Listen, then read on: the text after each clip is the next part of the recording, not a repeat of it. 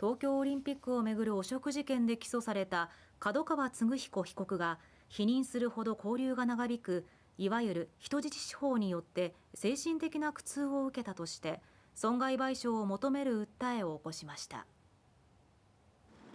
今日東京地裁に訴えを起こしたのは出版大手角川元会長の角川歴彦被告。東京オリンピック・パラリンピックをめぐる汚職事件で贈賄の罪で起訴され現在保釈中ですが否認するほど交流が長引くいわゆる人質司法によって精神的な苦痛を受けたとして国に2億2000万円の損害賠償を求めています。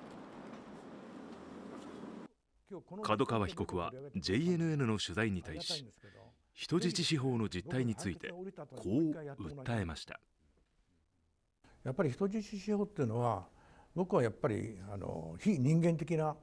とっても非人間的なあの、えー、やり方だと思います。一貫して無罪を主張し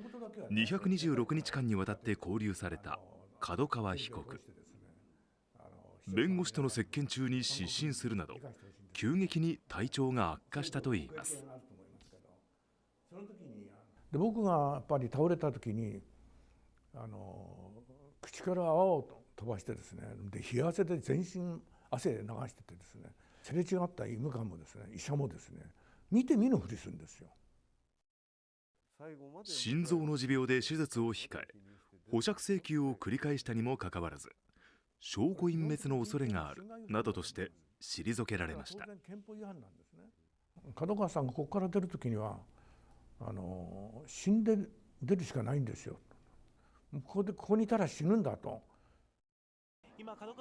その後も交流は続き逮捕から7ヶ月経った去年4月保釈されました。一方贈賄の罪で起訴された刑事裁判については潔白を主張しています。直接これは賄賂だ賄賂を払うんだみたいな認識っていうのはないっていうお考えですか？だから僕が言いたいのは、まあ、無罪だっていうことだけです。なるほど。今日の提訴後記者会見した角川被告。なぜ私にこうやって、えー、国家権力というものが振り下ろされるのか。私は人権訴訟というふうに